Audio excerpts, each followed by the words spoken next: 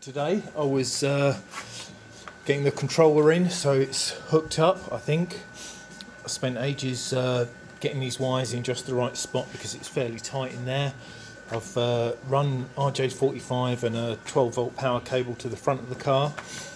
Still charging, it still seems to be working fine. I've got the DC-DC converter so I've got 12 volts. So now I'm going to connect that to the 12 volts but to do that I need something at the other end. So on that note, I'm now back to my wiring prototype board that I did last year, probably about the same time.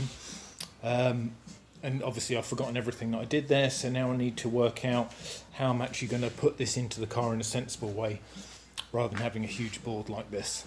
Um, so I think I'm going to start with this fuse panel here and work my way from there.